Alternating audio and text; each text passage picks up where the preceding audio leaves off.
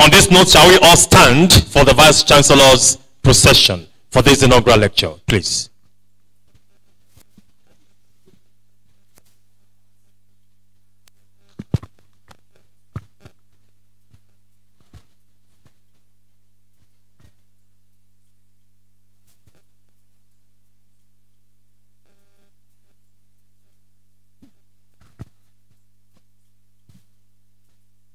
Sorry, please.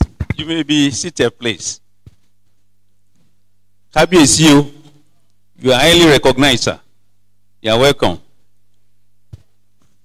I want to welcome everyone to this uh, 364th inaugural lecture series of this great institution titled Animal Reproduction Science and Technology Searching to Understand and Manipulate Life to be presented by Professor Safiriu Idowu Ola, a professor of animal reproduction. Professor Safiriu Idowu Ola was born 51 years ago to the family of Alhaji Sumonu and Alhaja Sifau Ola in the town of Modakeke. Professor Ola had his primary and secondary education in Modakeke and later on advanced secondary school at Ile-Ife. He studied animal science at University of Ibadan and proceeded for master degree at Obafemi University, Ile-Ife. He returned to the University of Ibadan for his PhD in animal science, specializing in animal reproduction, which was awarded to him in August 2005. Professor Idowu joined the academic service of Obafemi Awolowo University in February 1999 as graduate assistant and rose through the ranks with some accelerated promotions to become professor in October 2013. Professor Ola was a TWAS UNESCO Fellow for postdoctoral studies at the Institute of Zoology in Beijing, China in 2005-2006, where he worked mammalian fertilization biology under Professor Sun King Yan.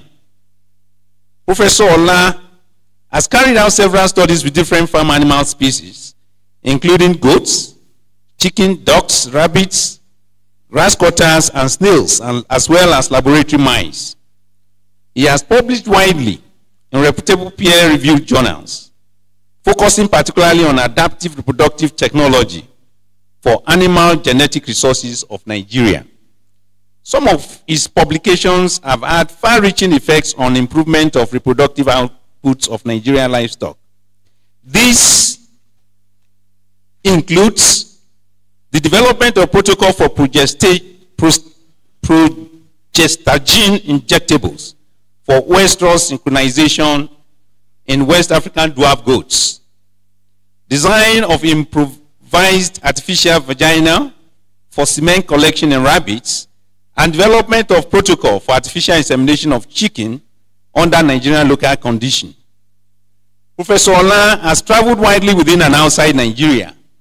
He's a recipient of many awards and fellowship from reputable organizations, including Nigerian Society for Animal Production, the World Academy of Science for Developing World, International Foundation for Science, Chinese Academy of Sciences, United Nations Educational, Scientific and Cultural Organization, UNESCO, and World Poultry Science Association.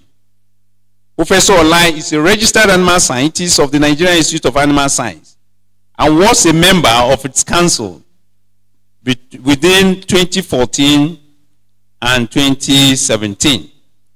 Professor Olai is currently a member of the steering committee of the International Congress of Animal Reproduction and the National Advisory Committee on ANGR in Nigeria. Currently, his research work is focused on zero waste livestock production, which recirculate waste from non-ruminant livestock, that is poultry and piggery, as feed, fuel, or fertilizer. Professor Safriyu Idowuola is a devoted Muslim and is happily married with children. I hereby present to you Professor Safriyu Idowuola to deliver his inaugural lecture. Welcome.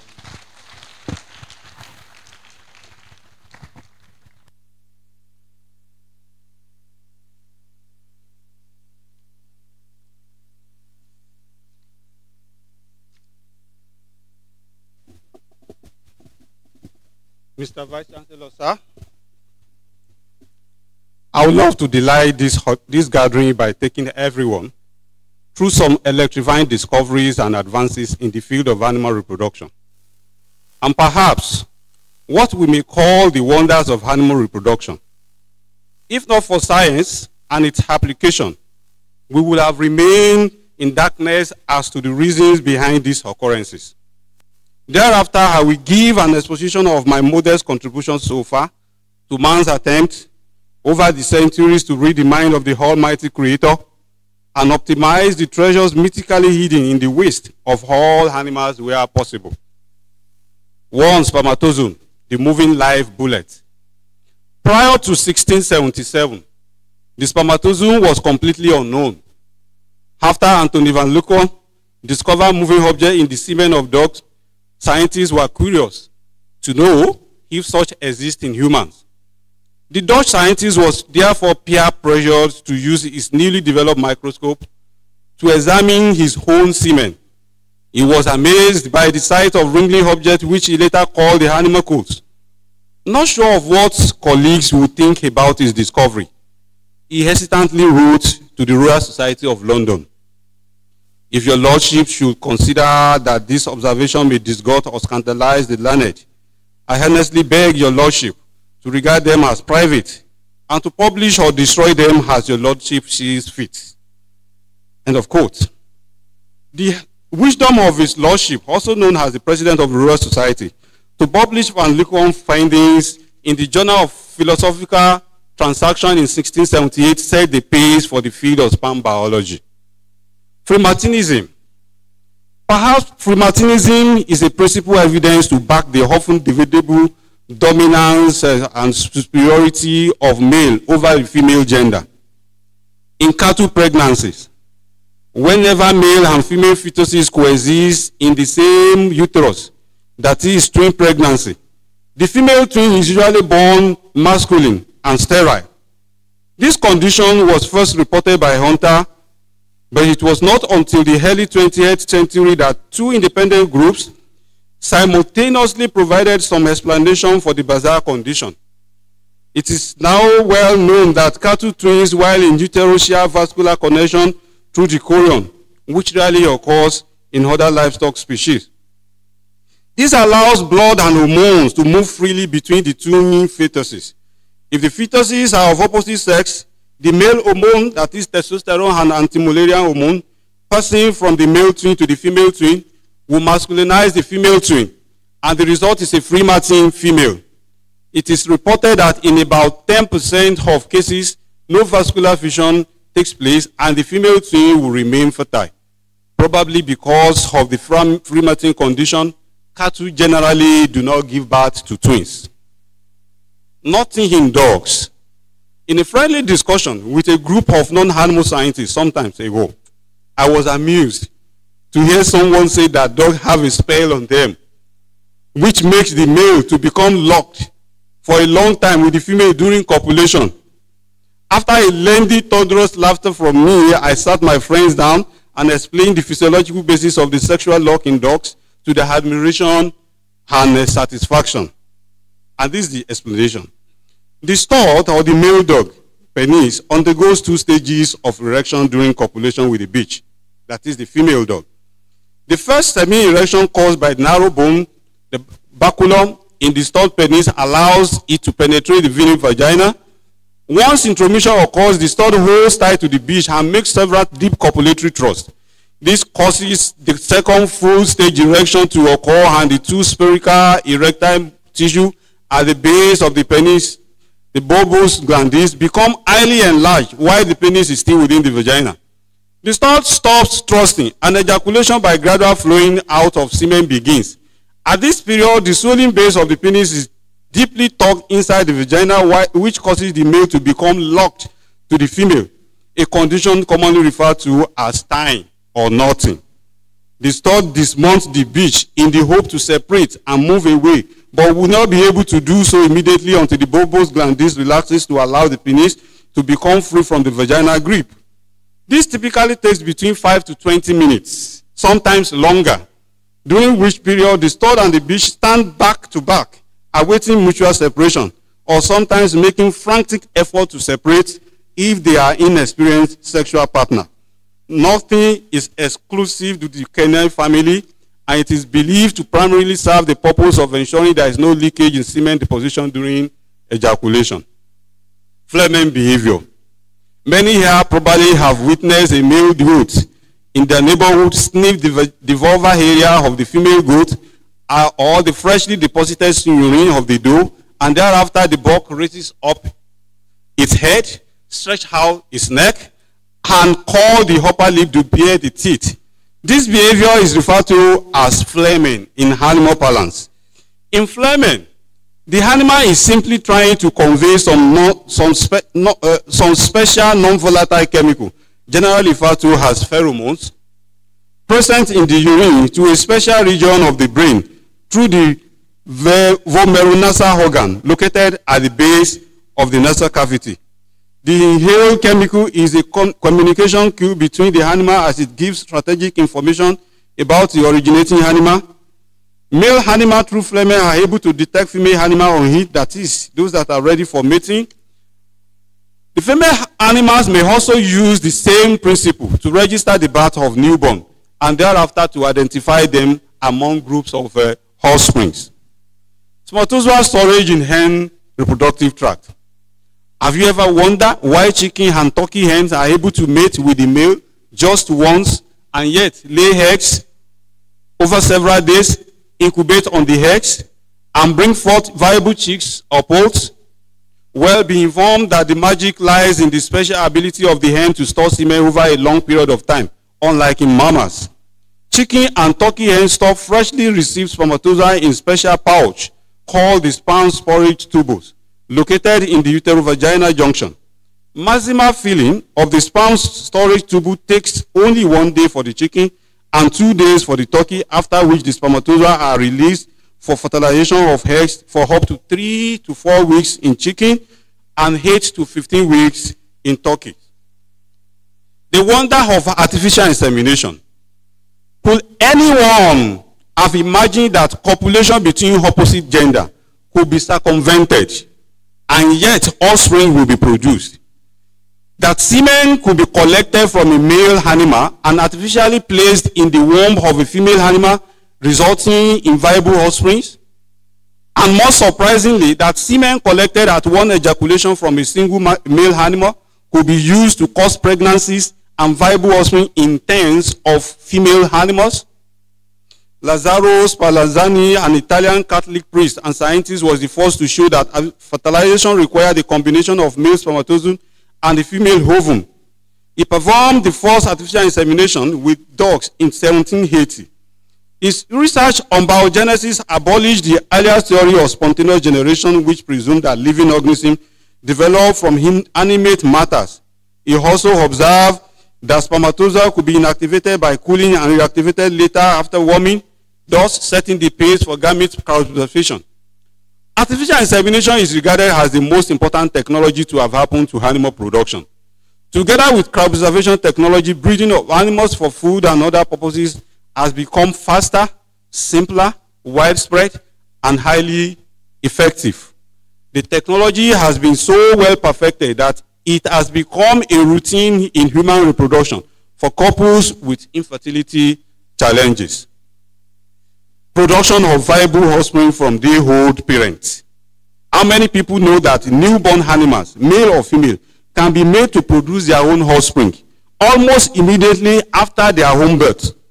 The magic lies in in, in vitro technology, which has made it possible for primordial germ cells to be grown and mature outside the body of the animal.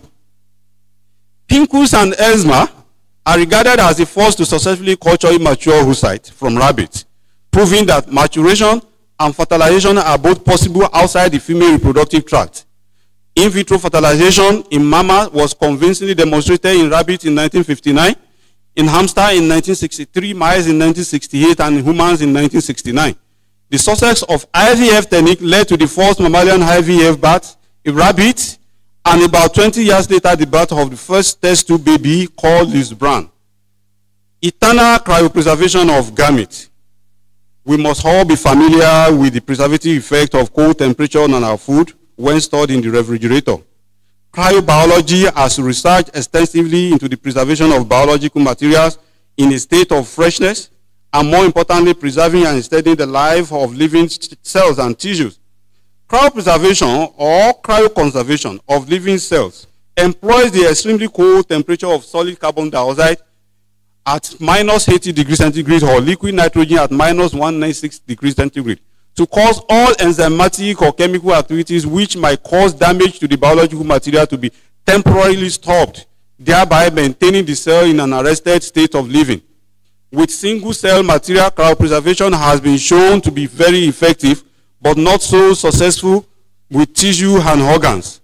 Cryopreserved spermatozoa and ova have been reactivated after over 35 years of preservation to successfully produce viable offsprings in rams, and in human, it is therefore accepted that cryopreservation procedure has the potential to keep the life of the gamete in an arrested vase eternally. All male or female offspring. Anyone worrying about having a male or female here should worry no more because proven and safe techniques are now available to choose and or predetermine the sex of a fetus before birth. These sex determination techniques have been greatly exploited in animal production for economic reasons. In the dairy industry, for instance, the preference is for female offspring, whereas male offspring are preferred in the beef industry.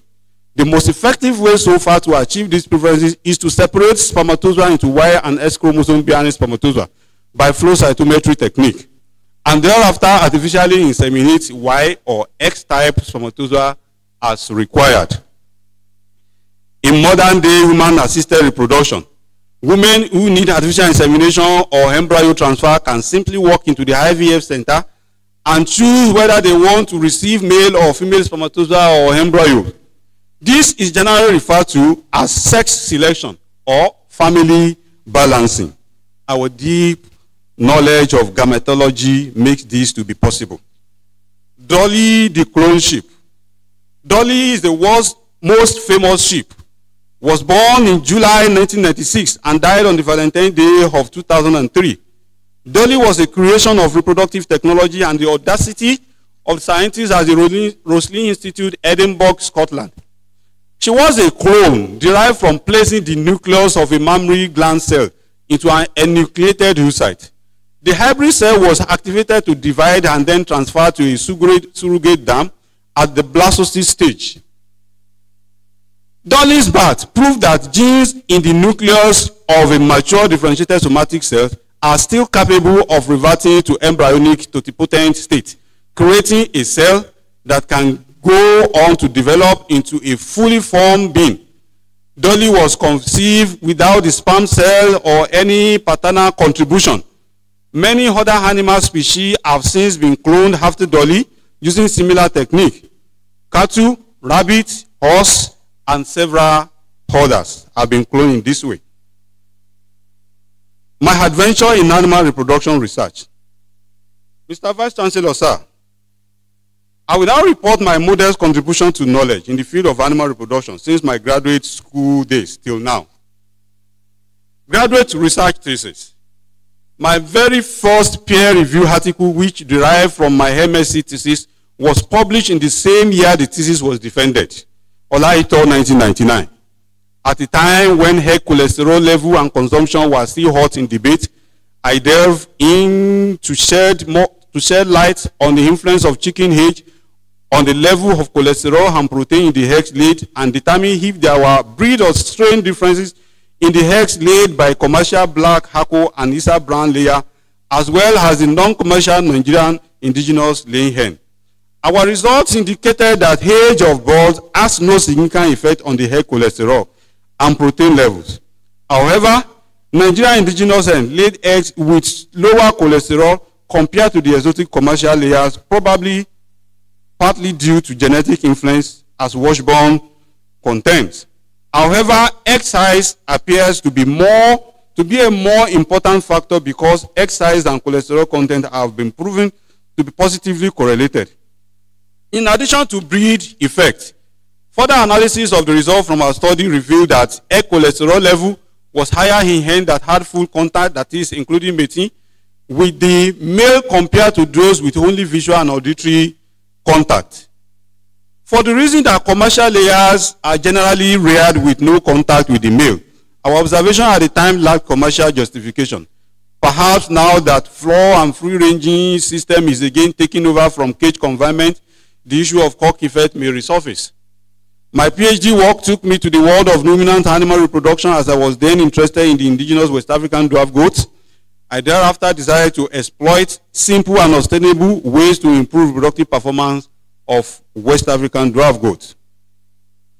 I reported estrus and its associated behavioral and morphological attributes in WAD goats in details. Ola and Egbunike 2004. In that report, 10 behavioral attributes and 6 morphological attributes were monitored, scored, and combined to arrive at estrus score and libido score, terms that were perhaps used for the first time in animal science. The exfoliative vaginal cytology pattern during the entire estrous cycle in WAD goats was also reported. The female WAD goats, like many other spontaneously ovulating mammals, has well-defined estrous cycle pattern that could be characterized by exfoliated vaginal lumen cells. Superficial cells are preponderant during the estrous phase, while parabasal cells characterize the anestrous phase. This paper, Ola et al. 2006, has been cited so extensively that I continue to receive mails requesting further explanation on the paper from different parts of the world up to date. One of my astonishing discoveries till date was a chance finding of unusually highly pubertal age in the female West African dwarf goat, shown in figure 4. At the 12th annual conference of the Animal Science Association of Nigeria in September 2007, which, uh, which held at the conference center of Obafemi University, I reported the outstanding reproduction record of a family of WAD goats the kidding records of the dam and Aprimparos twin offspring were monitored over a period of 48 months with a total of 13 kiddings, including 11 live and 2 premature. Averages of 2.2 litter size and 6.3 months kidding interval were recorded. However, the most intriguing was the record of 6.7 and 7.4 months as ages at first kidding for the F1 twins. This puts their effective age at first conception to barely eight weeks, that is two months, in the kid dams. This is unprecedented, as the earliest recorded conception age for WAD or any goat breed for that matter was three months. Overland Ito 1973. This record is a testimony of the enormous potential possessed by WAD goat for high fecundity, prolificacy, and uh, fertility. Muscovy duck reproduction. In the period between my MSc and PhD studies, the Nigerian local Muscovy, Cairina moschata, a relative of domestic duck, caught my attention. I was attracted to this animal because of the many taboos associated with it, especially in Yoruba land. Today, I feel I have disappointed the Muscovy duck for discontinuing my studies on it. This is because the ball shot me into international limelight. My first trip outside the country was as a result of this creepy Nigerian local Muscovy board. I was supported by the World Poultry Science Association to present some of my results on the Muscovy at the Second World Waterfowl Conference, which held at Alexandria in Egypt in October of 2003. At the Alexandria meeting, I debunked almost all the mythic claims associated with the Muscovy board in Yoruba folklore and I further provided a scientific basis on the meat production potential for which the board could be improved. Cane rats or grass cutter reproduction. Few months after my return from China, I won the prestigious International Foundation for Science Research grant of $12,000 to study the reproductive cycles in the greater grass cutter called Thryonomys swinderianus. The grant came mainly in form of equipment. And with that, I was able to convince the then chairperson of the University Research Committee of Obafemi Awolowo University to award me a URC funding of 750,000 to construct the grass cutter pen shown in figure 4 and figure 5. Buy and maintain the animal through my ingenuity and the support of the dentition research farm manager, Mr. Thomas Oyetade, I managed to put up a structure worth more than 1.5 million naira at the rabbit unit of the farm in 2009. Two graduates and some undergraduate students and I set to work carrying out a number of basic studies with the cane rat. We monitored and reported the downward variation in ambient temperature and relative humidity in the pit type pens, cytology of the vaginal lumen of the female grass cutter, and the relationship between pen environmental variables and the thermorespiratory function of the grass cutter. Unfortunately, we were not quite successful in our main focus to decipher the estrous cycle pattern in the female grass cutter, the knowledge of which still remains shrouded in mystery till today. The animal, despite years of domestication, is still flighty in nature, very vulnerable to cold, difficult to restrain and handle, and seems to be too fragile for the kind of daily vaginal examination which our study entailed. Thus, we lost significant number of the animal. We restocked, but still faced similar challenges. We were unable to publish the result, and I became highly discouraged. To know if there was something we were not doing right, I visited grasscutter project site at the Institute of Agricultural Research and Training in Ibadan and the University of Agriculture, Abeokuta. Alas, I observed situations similar to ours at OAU Ife, and in fact, in the words of Professor Samuel Onadeko, who was then leading grasscutter research at UNAAB, and I quote, grasscutter are not the kind of animals to spend grants on because they can frustrate genuine attempts and make one look like a fraud. Getting back to Ife, I resigned from grasscutter research. Rabbit reproduction. When grasscutter proved uncooperative, I turned my attention to the much more receptive domestic, domestic rabbit, Oryctolagus cuniculus, which has become my darling research piece in whom I'm well pleased. First, we study vaginal cyclicity in the rabbit doe in relation to contact level that the doe has with the buck. We discovered that does completely isolated from all forms of contact, including tactile, auditory, olfactory, and visual with the buck, showed more parabasal cells in their vaginal lumen. This is characteristic of an issue that is non-receptive animal. We thus opine that contact with the male, not necessarily tactile, appears to be determinant of sexual receptivity in the rabbit does. In further attempt to explicate this position, we went further to ovarian histology. Microscopic examination of the section revealed there were various categories of growing follicles on the ovaries from those with auditory and olfactory contact with the box. But in those with visual contact with the box, corpora lutea were also conspicuously evident. Whereas in those completely isolated from the influence of the box, only follicles of less than 0.5 mm diameter were seen. Our result is a clear indication that ovulation induction in the rabbit is not solely a function of mating stimulus, but could involve interplay of other stimuli. It was not surprising to me that this result was published without stress in the most authentic and revered global rabbit journal, World Rabbit Science, Ola and Oyegbaje 2012. My work with snails, snail reproduction. I picked interest in the giant African land snails, Achatina, achatina, and Archachatina marginata. About the same time, I was interested in the grass cutter.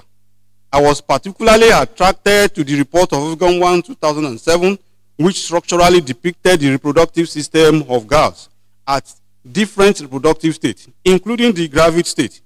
I immediately wanted to be that oracle that will prove the gravid state of a snail without breaking its shell. That is, ìgbín. Having clearly understood the hermaphroditic reproductive anatomy of girls, shown in figure 6, we applied the technique of exfoliative vaginal cytology to study the vaginal lumen cells in girls in the hope that a lead to the reproductive status of the snail without breaking its shell will be discovered. This way, a gravid snail could be identified and thus spared from the slaughter hammer until she lay all her eggs. Smear examination under the microscope revealed three cell shapes, the rod, the round, and the spherical shaped cells. We were unable to establish variation in the frequency of these different cell types at the different reproductive states of the snail, and no such differences were observed among snails of different weights. While this study and reports will be regarded as binary, there was no other report before it, and even till date, on vaginal lumen cytology of land snails. Thus, I, I still have the chance to be that oracle that will be able to tell when a snail is pregnant. Chicken reproduction. While on a consultancy visit to a friend's poultry farm in 2004, I observed some cocks within a population of about 50 to have improperly formed wattles, either unilateral formation or no wattle as opposed to the normal bilateral formations. I immediately reasoned on how these may affect their reproductive ability, knowing very well that comb and wattle are indicative of the level of male hormone testosterone in the cock. Results indicated that ejaculate volume, semen concentration, and percent normal sperm cells were higher in bilaterally wattled cocks compared to the unilaterally wattled and the unwattled cocks, indicating a possible correlation of wattle formation with reproductive performance in cocks. Ola et al. 2014. Based on the result of this project, the undergraduate student, Paul Adetuji, who worked with me on the project, was awarded the first Akin Additional Prize in Agricultural Innovation in 2015 in the entire Faculty of Agriculture of OAU Ile-Ife. Due to fascination, I picked an interest in the Noiler chicken recently introduced into Nigerian poultry market by Amo Farms and Sieberer Hatchery, Awe, Oyo State. Noiler is a dry chicken, is a dual purpose chicken developed mainly to combat malnutrition and poverty, especially among the low income and underemployed groups in Nigeria.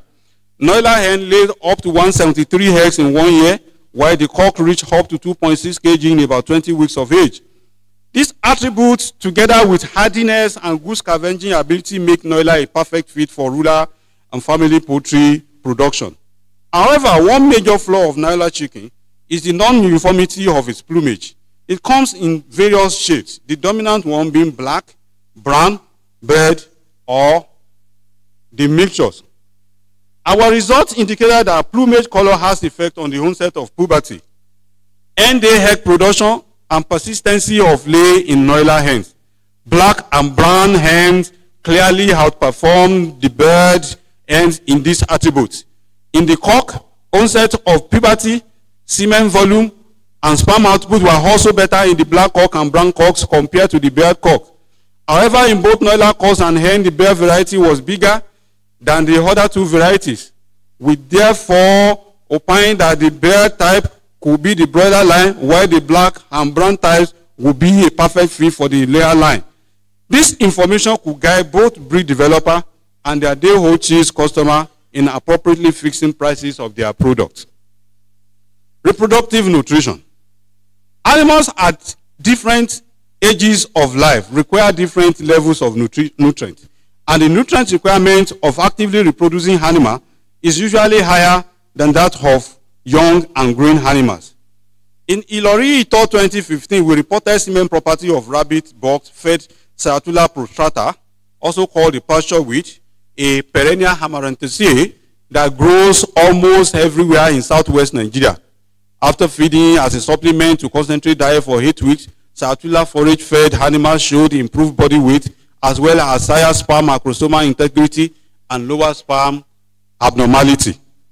Alabia and Ola in 2018 offered boiled eggs, ginger powder, and their mixture at 1 and 1.5 gram per 100 gram feed to mature breeder cocks twice a week over a period of four weeks. Results indicated that semen volume was significantly higher in the egg supplemented group, whereas semen concentration, sperm motility, viability, and morphology of ginger supplemented group was superior to those supplemented with boiled eggs or in combination with ginger. More importantly, is that, is that semen qualities were better in egg supplemented group compared to the unsupplemented control, which does lend credence to its usefulness at a level as low as 1% of the diet.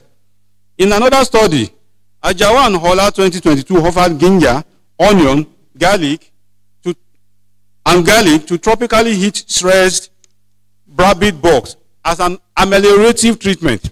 Sperm cell motility, viability, and abnormality were similar within supplemented groups and the control, whereas semen volume and concentration were highest in animal fed with garlic at 10 and 15 gram per kilogram diet respectively. The study thus concluded that spice supplemented mitigated supplementation mitigated heat stress effect on sperm cell morphology and was deleterious and was not deleterious on hematology and total antioxidant capacity of the bucks. Molecular reproduction science. I had barely defended my PhD thesis in 2005 when I landed the opportunity of a postdoctoral study at the Institute of Zoology in Beijing, China, under the co-funding of Chinese Academy of Sciences and the World Academy of Sciences for the Developing World. I worked with Professor Qing-Yuan, who personally received me at the Beijing International Airport. I had only one year for my stay in Beijing, and I was expected to come up with my own independent research focus. Within few weeks of my joining the team, I came up with the idea to study the nuclear transformation of mast suicide during in vitro maturation process. My hypothesis was that the non-surrounded nucleolus type oocytes are the immature oocytes which transform to the surrounded nucleolus type during folliculogenesis, that is meiotic maturation. To prove this hypothesis, I cultured mouse antral for up to 24 hours under meiotic arrest with cytobutymentis Nuclear transformation was monitored at three-hour interval in the classified oocyte. I observed that NSN oocyte temporarily, temporarily transformed to the SN configuration while under meiotic arrest.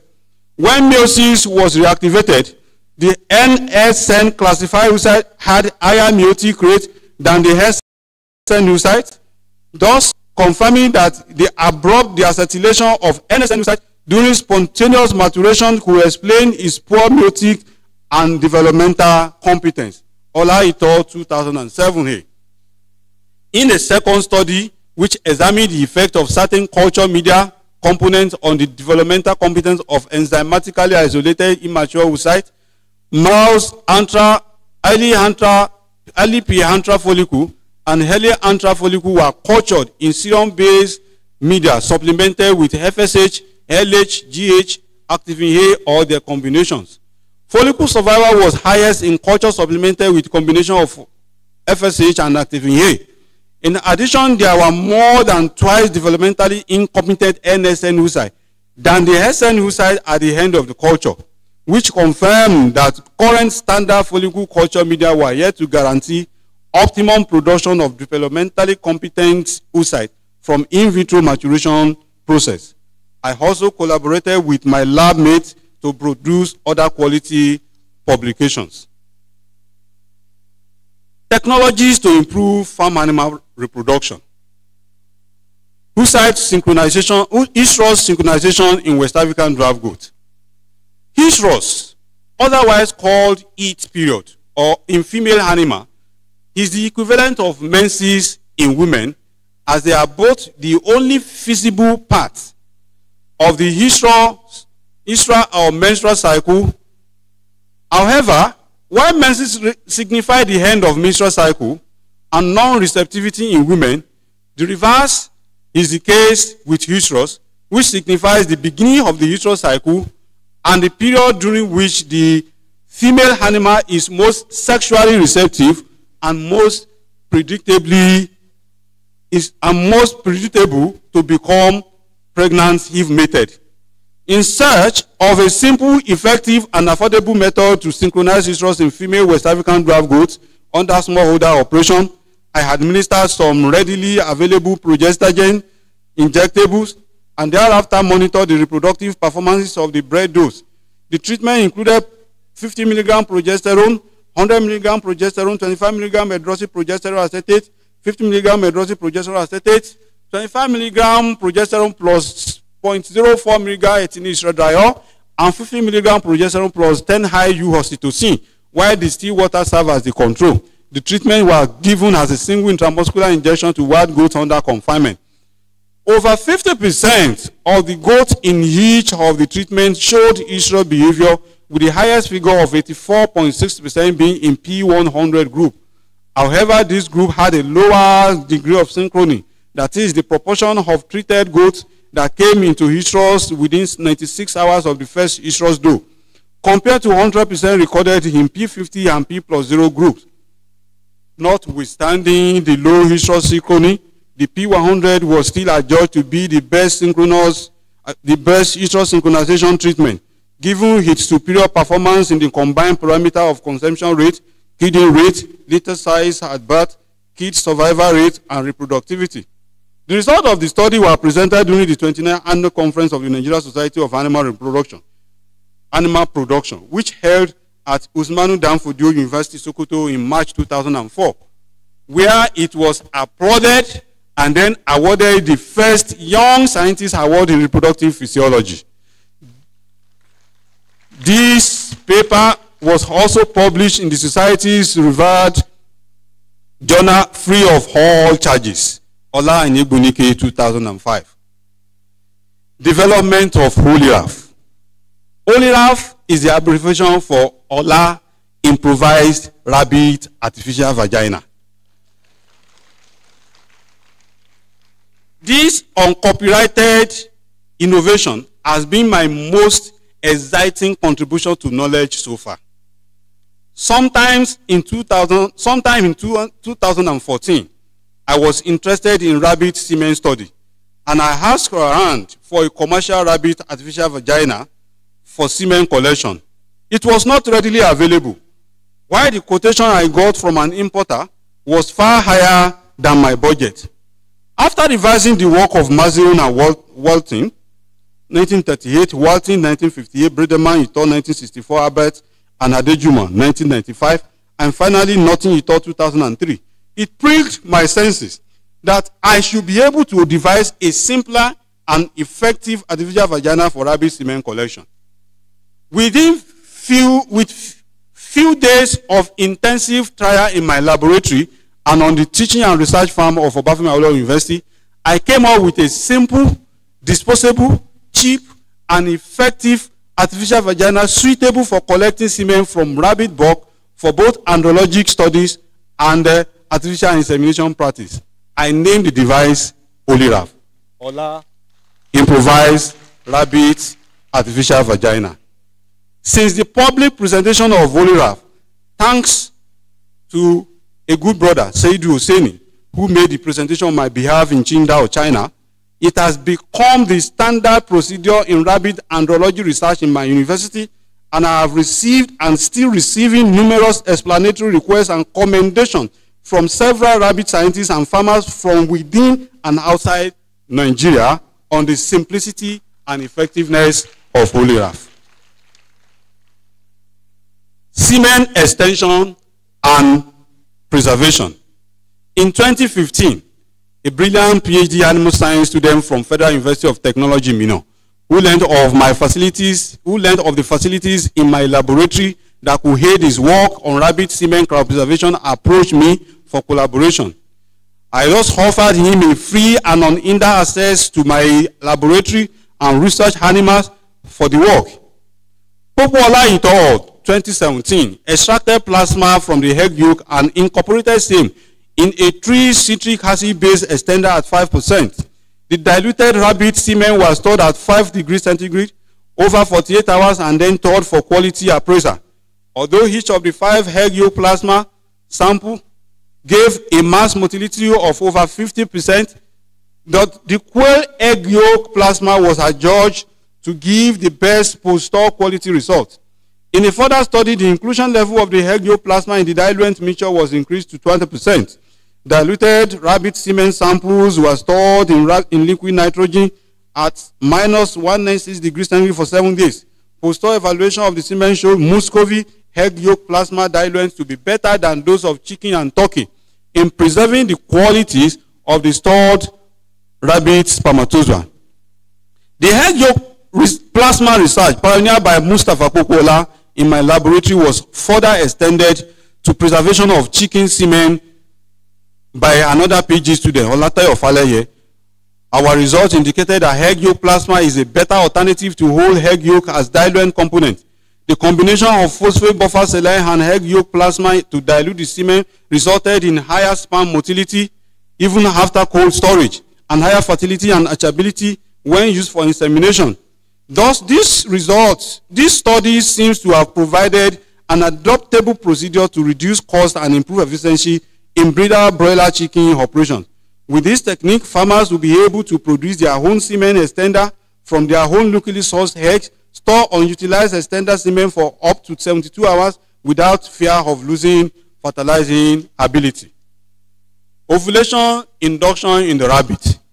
After crossing the hurdle of semen collection in the rabbit with Holiraf, next was to confront the challenge of getting the gonadotropin releasing hormone injectable to induce ovulation at the time of insemination.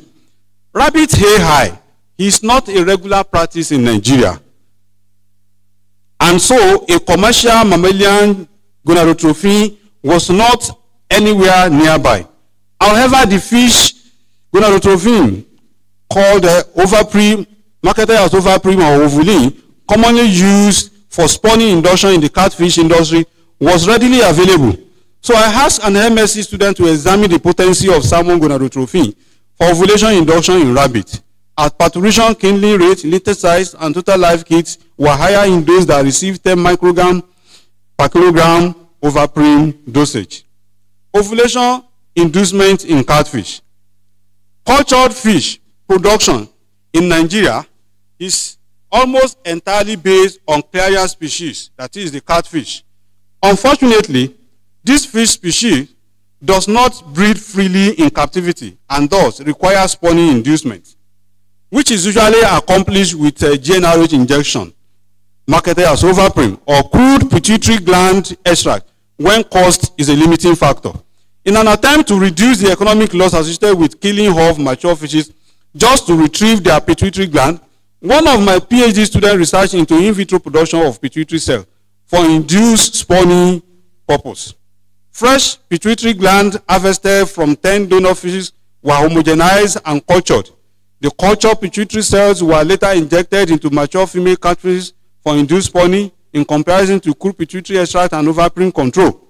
Results show that 97.5 gram per kilogram of mature oocyte was spawned from cultured pituitary cells, 127.5 gram per kilogram from fresh pituitary gland, and 157 gram per kilogram from salmon gonadotropin analog induced catfishes. This study provided an insight to the possibility of using cultured pituitary cells to induce spawning in Africa catfish. My other studies. My collaborative research work with Professor J. Oshunade and Professor Ewu Ayoka and G. Olaiwola of Agricultural Engineering and uh, of Physiology and Pharmacy, respectively, deserve special mention. I co-supervised Agumbi Adelamidi, a PhD student in farm structure engineering, who studied the effect of building orientation and ventilation openings on the reproductive performance of rabbits under the humid condition of Ile-Ife. The study discovered that windward side of 80% building opening in the direction of prevailing wind will be the best for rabbit performances under tropical climate. Opeyemi Osuntokun was a PhD student in the Department of Physiological Sciences who came to my laboratory for hormonal analysis. But we ended up doing much more. He was investigating the anti-fertility effect of gabapentin and carbamazepine combination in the Wistar rat. Osuntokun et al. 2017 demonstrated in Wistar rat that anti-fertility effects, which include reduced weight of the testes, epididymis, and seminal vesicles, decreased sperm count and serum testosterone that is caused by chronic administration of gabapentin or with carbamazepine were reversible once the drug administration stopped. The study thus concluded that drug seems the drug seems safer for the treatment of epilepsy, although subtherapeutic dose trial at experimental and clinical level was recommended. It is not surprising that Doctors Agumbi Adelamidi and Opeyemi Osuntokun, two products from my research collaborations, are today part of the academic waves at Osun State University Osogbo and Federal University Oye Ekiti respectively. My involvement in academic and administrative innovativeness, grants and grantmanship. Upon my return from postdoctoral training in Beijing in 2006, armed with better skills and exposure, I submitted a new proposal to IFS and another one to TWAS. Both proposals were successful. And with these two grants, I was able to start and equip my new laboratory of animal reproduction in the department. With the two grants, I was also able to convince the University Research Committee to grant a counterpart funding of 750,000 naira with which I constructed the Grass Cutter Research Center that is still standing uniquely at the University Teaching and Research Farm till today. A return trip to Beijing in 2010 led to my being awarded an equipment grant of around $40,000 by the Chinese Ministry of Science and Technology via the Chinese Academy of Science that was hosting me in Beijing. Thus, by July 2011, courtesy of IFS, TWAS, CAS, and the OAU, I had one of the best equipped laboratory in the university at the time, boasting of equipment comprising of CO2 incubator, photo, inverted and stereo microscopes, ELISA reader, RT-PCR machine, DNA and RNA electrophoresis plate, electrophoresis gene analyzer, and a host of uh, others.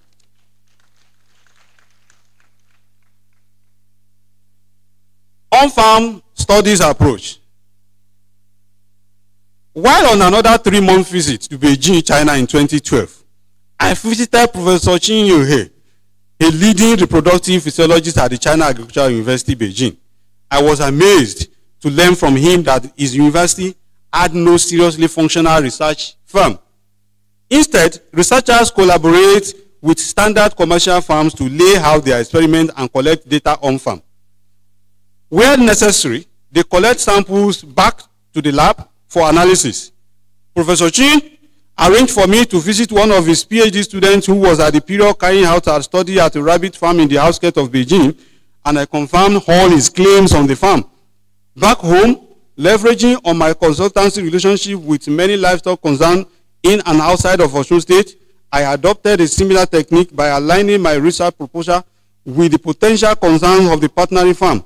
So far, this approach has facilitated special interest of over 10 undergraduate students and graduation of five MSc students whose researches were completely set and carried out on the farm. Perhaps it is pertinent to hint here that my home MSc study was set out and conducted on my own personal farm using my home commercial chicken. Thus, I have been an on-farm researcher ever before visiting Beijing. Consultancy and community services.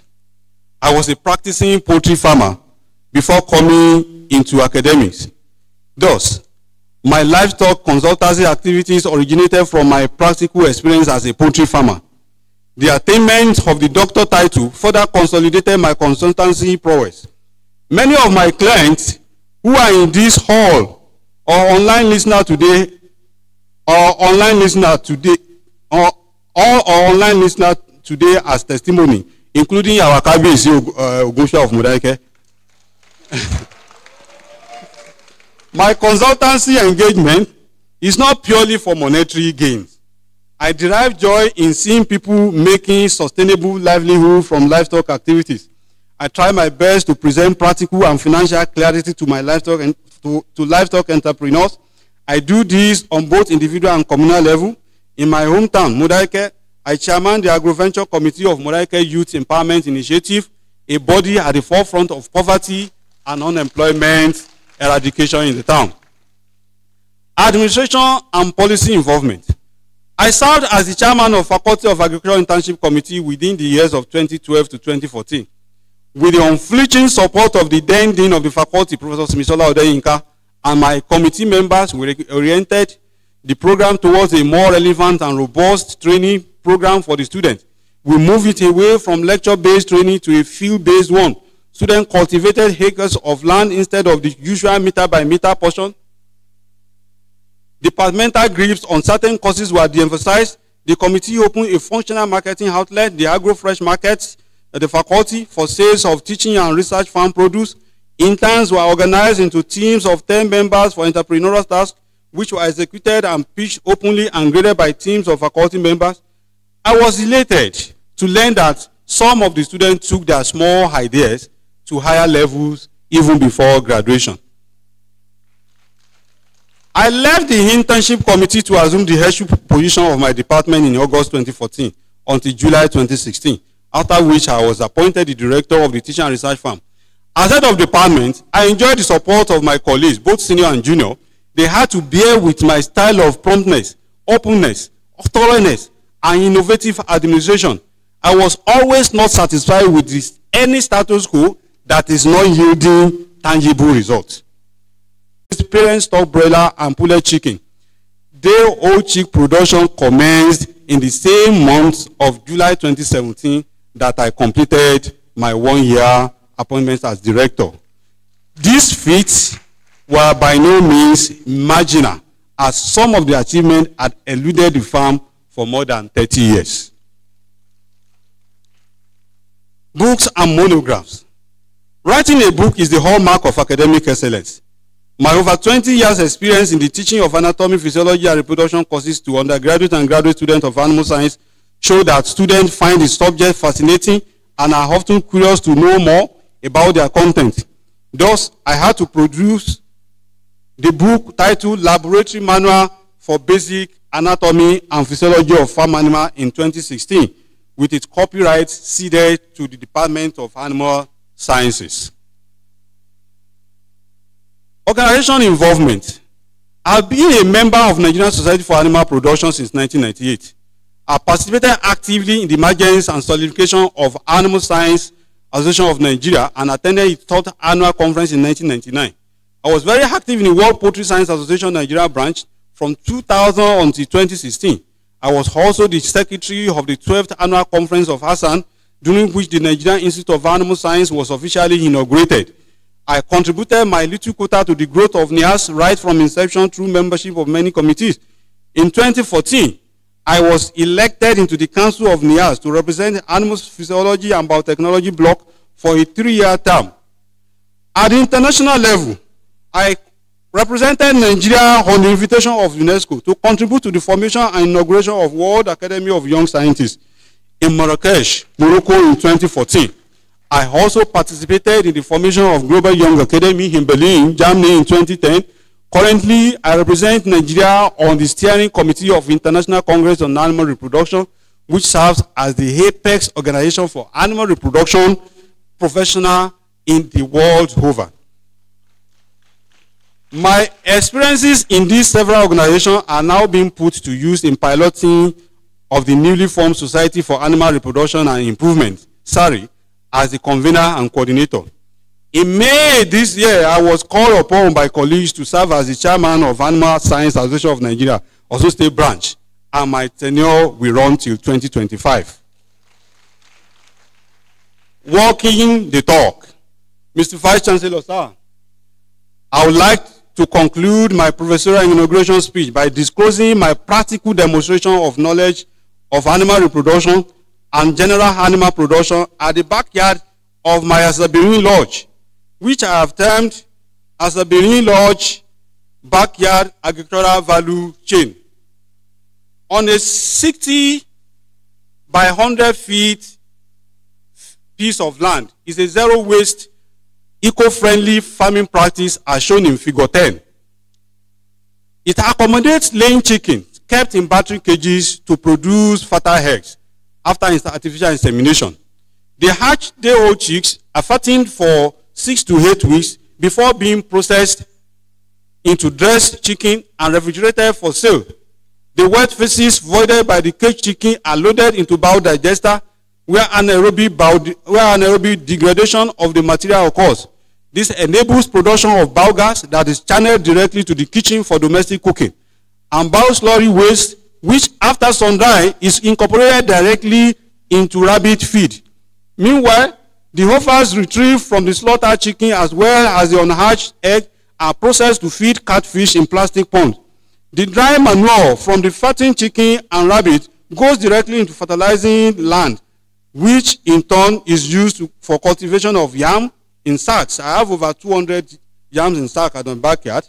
Cocoa yam, sweet potato, vegetables, maize, cassava, plantain, orchard, all within a one plot uh, land. The rabbit urine is used as biopesticide on the crops. With this value chain practice, God has assisted my family a great deal in terms of good nutrition and financial security, especially after five months of no salary. Postscript. Do reproductive biologists want to be at par with God in creation? Maybe yes, but never will it be possible. Probably inspired by the ability of certain frogs and turtle species to survive the winter by freezing solid and easing life function. Some reproductive scientists, with their daring, imaginative, and inquisitive quest, believed and hoped that cryopreservation of the whole human body will one day become possible. A man will be able to preserve his own life forever. Liu et al in 2018 reported the cloning of macaque monkey, a primate-like man. And if not for the universal prohibition of cloning of human cells, to produce a human, perhaps man will have cloned another man by now. But it will never be possible for man to resurrect fellow man. Nor will man be able to create a living cell, talk less of a man, because the incontrovertible Quran says so. Every soul will taste death. Then to us you will all be returned. Quran chapter 29, verse 57. Acknowledgement. All that I am or hope to be, I hold to God. Repose his soul forever. I've married from the wonderful families of Buraimo in Jebu Ogun State, and Sule from Owo State, with a resultant peaceful home and beautiful children. I value their support for me and the accommodation of my inadequacies. I could not have asked for better in-laws. My late wife, Margaret Adefisayo was a strong, beautiful, loving, and supportive wife. She was an epitome of respect and was highly loved by everyone who crossed her path. My wife, Alaja Kudirat Modelayola, is no less beautiful, very high-catching, loving, and supportive. I'm lucky to have been blessed with the two of them. And to our wonderful children, Ebatula, Tasiat, Fariat, and Akifa, I proclaim my love to you all. Three figures particularly inspire me as an animal science academic. And these include late Professor, late Emeritus Professor V.A. Oyenuga, Professor G.N. Egbunike, and Professor E.B. Sonaiya. They were all animal scientists whose enviable academic achievement and record spur me on a lot to become where I am today. Professor Oyenuga influenced me through his academic achievement, unknowingly made known through his, academic, his curriculum vitae. While Professor Egbunike remains the greatest animal reproductive physiology whose record is almost difficult to, to surpass. Professor Sonaiya was a senior colleague in the same department with me. I refer to him as Emeritus Mentor Sonaiya. He has a special gift of recognizing excellence and the rare spirit of supporting it with all in his capacity.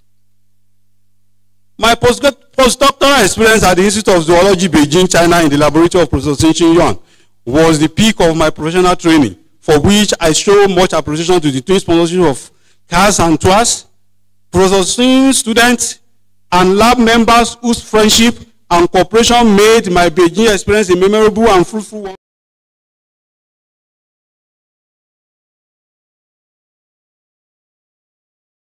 Lin Jiehe, Yin Shen, Oyi, and many others. my numerous Chinese, perhaps you want to know my Chinese name too. My numerous graduate and undergraduate students deserve to be recognized because without them, my research progress would have been impossible to imagine. Two among my friends, Alhaji Adam Adisa and Mr. Kola Okunwola, stand out of the pack. We have been friends for almost 40 unbroken years.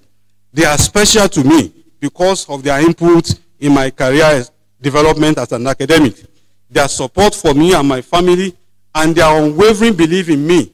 These are people who got my back. My first contact in the Department of Animal Science of OAU was Dr. Misola Jumoke Caroline Daniel, who was my master's thesis advisor. She trusted my ability so much that I felt like we were colleagues while actually studying under her. I have equally enjoyed very cordial relationship with other academics in the department. I must not leave out our versatile technologies. I have I also show deep appreciation to all those who have impacted knowledge in me from my primary school days through the secondary, advanced secondary, and university level. To cap it all, I give all glory to Allah, with whose permission I still remain meaningful human being till today. Alhamdulillah. Mr. Vice Chancellor, sir, let me finally recognize the presence here today of all the principal officers of this university.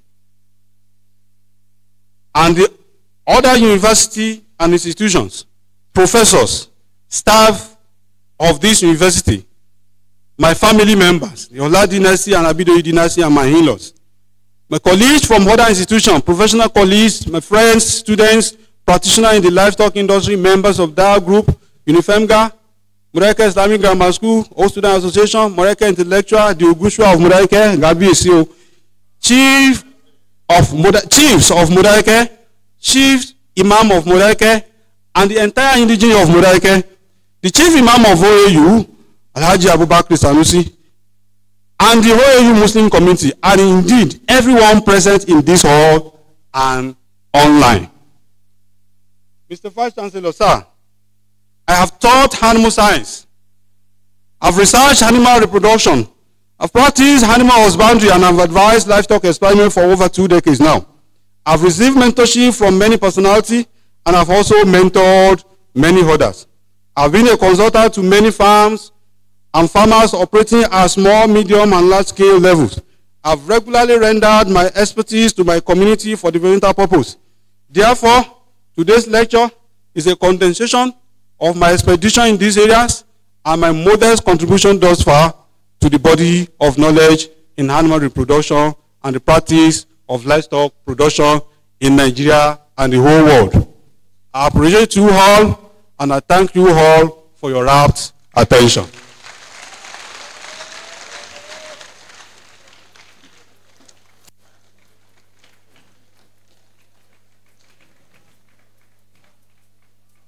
All I need is one love. All I need is your love, yeah. Sweet love, baby, yeah. All I need is your love.